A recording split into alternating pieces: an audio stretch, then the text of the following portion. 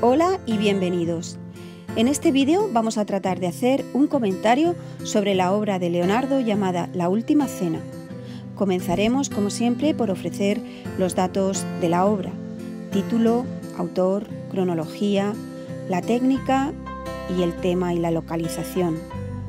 Como siempre decimos, no es imprescindible empezar dando todos los datos, pero si sabemos algunos de ellos al menos, es una buena forma de empezar el comentario. Y vamos ya con la descripción y análisis de la obra. Esta pintura ocupa una de las paredes del refectorio del convento de los dominicos en Milán. Dedicaremos un momento al primer punto de interés que supone el de la técnica con la que se realiza esta pintura.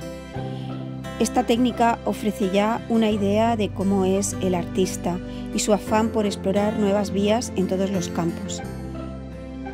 Al ir destinado a una pared, lo normal hubiera sido utilizar el fresco, pero el ritmo de esta técnica no encajaba con el de Leonardo.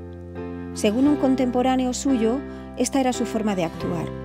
Estaba allí, sin quitarse el pincel de la mano, olvidándose de comer y beber, Después podía estar tres o cuatro días sin pintar y aún así se quedaba contemplando, examinando para sí las figuras. Otras veces venía, se subía al andamio, daba una o dos pinceladas y se marchaba. Así que él intentó pintar con una pintura grasa sobre una pared teóricamente seca pero ligeramente húmeda y el resultado fue bastante desastroso desde el principio. El tema no podía ser más adecuado para el refectorio, una última cena, un tema tradicional en la, cultura cristiana, pero Leonardo le da su propia visión de manera que le hace absolutamente innovador.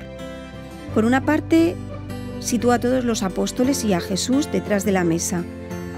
Lo normal era situar a Judas al otro lado de la mesa, señalándolo de alguna manera. También el momento elegido por Leonardo es novedoso, Elige aquel en el que Jesús dice a sus discípulos, uno de vosotros me va a traicionar. Con esto se produce una reacción entre los apóstoles que da pie a pintar distintos estados del alma y los distintos temperamentos humanos. Cólera, sorpresa, duda, incredulidad. Ese instante crucial hace reaccionar a los apóstoles que quedan agrupados de tres en tres comentando la escena.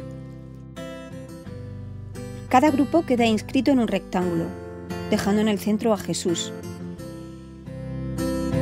Distintas posturas, los brazos, los rostros crean un ritmo dinámico en la escena y ofrecen a Leonardo la oportunidad de mostrar las reacciones de todos ellos. No podemos dejar de lado el espacio pictórico que se crea para albergar esta escena, Leonardo pretende incorporar a la comida diaria de los monjes este acto sagrado de la última cena y lo consigue con la perspectiva. De esta manera prolonga el refectorio, estrechando las paredes, descendiendo el techo y con una luz fingidamente natural al fondo como ventanas abiertas que iluminan la escena. Y en este lugar de máxima luz de toda la composición se sitúa Jesús, que también es el punto donde confluyen las líneas de fuga. Esta figura central ocupa un espacio mayor que el resto, se inscribe en un triángulo y transmite resignación y tranquilidad en un momento de vorágine ante la situación que se ha planteado. La luz del fondo genera claroscuros que contribuyen al modelado. En cuanto al color, rojo y azul se contrarrestan en Jesús, que de esta manera vuelve a llamar la atención en un entorno de ocres y marrones en el que puntualmente se utilizan también el rojo y el azul para crear cierto dinamismo.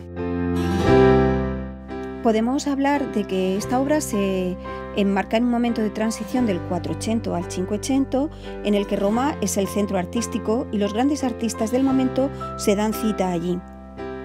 Lo visto en esta obra muestra las inquietudes de Leonardo desde su propia concepción de la pintura como disciplina cercana a la ciencia, su afán por innovar en todos los sentidos, la técnica, la forma de representar el espacio, los personajes, la luz, utilizando ya la técnica del esfumato, que inicia la perspectiva aérea y su interés por la plasmación de los estados de ánimo.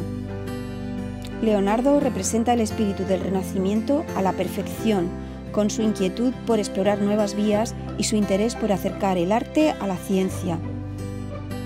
Para terminar y a modo de conclusión, podemos analizar la importancia que tiene esta forma de enfocar el tema de la instauración de la Eucaristía, que se convirtió en referente desde el principio y en el futuro, y como curiosidad añadir la fascinación que esta pintura ha tenido en otros campos, incluso en la literatura, en libros como el bestseller El Código da Vinci, que convierte esta obra en el punto focal de la trama, dando a esta pintura un renovado protagonismo.